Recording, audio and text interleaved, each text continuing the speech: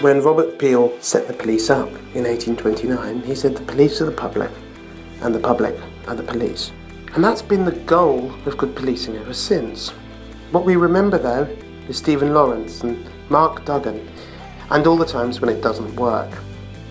And it works best when the police reflect society. And that's what we're trying to make happen.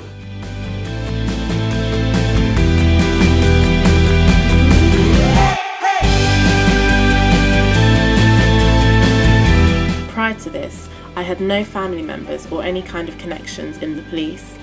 Rare helped me understand the ways to be successful at the assessment centre and to have the belief in myself that this is a career path that I could pursue.